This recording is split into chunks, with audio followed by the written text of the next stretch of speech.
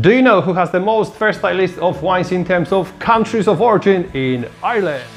This place is De Corkscrew Wine and Spirit Merchants in Dublin. We have wines from over 32 countries included Moldova, China, Lebanon, Croatia, Switzerland, Slovenia, India, Czech Republic and even Ireland. Yes, we have Irish wine.